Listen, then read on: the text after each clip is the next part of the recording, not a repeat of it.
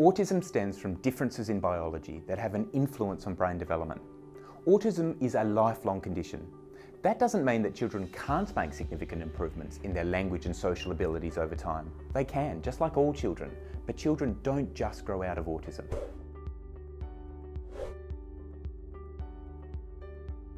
Autism can affect a person's ability to understand subtle emotional cues, such as tone of language or body language. But when emotions are communicated more directly, there's a wealth of evidence showing that children and adults on the spectrum are even more likely to feel empathy for others.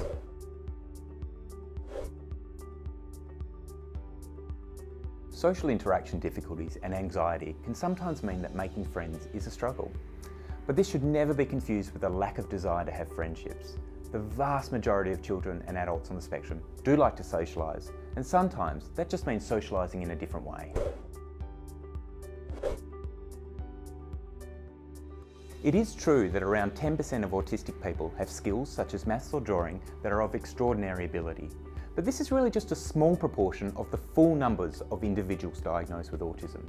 It's best to look past this caricature and see the extraordinary human that lies beyond the diagnosis.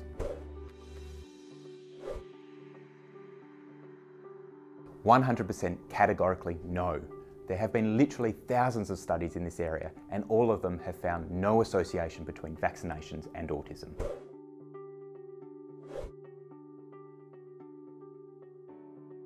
The assumption that people on the spectrum don't have a sense of humour is absolutely false. Probably the funniest conversations I've ever had have been with autistic kids and adults and they absolutely run rings around me in telling jokes.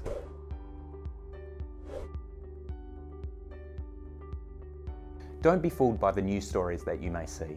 There is no evidence that individuals on the spectrum are more violent than the rest of the population. None.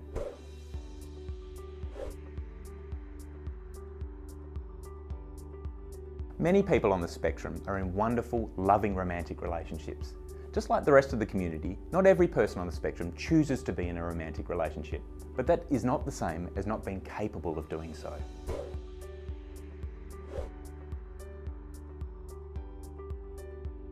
Many people on the spectrum have intellectual disabilities and also many do not.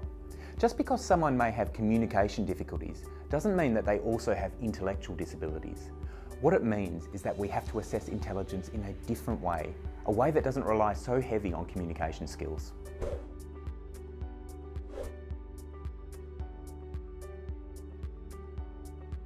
Not every child will be great at maths, not every child will repeat back words, not every child will have difficulty speaking and not every child will have hand mannerisms. Every child and adult on the autism spectrum is different, full of their own unique talents, personalities and yes, challenges. The label autism doesn't mean one thing. What it is, is a gateway to understanding a whole new way of thinking about the world. And those children and adults are to be cherished for that fact.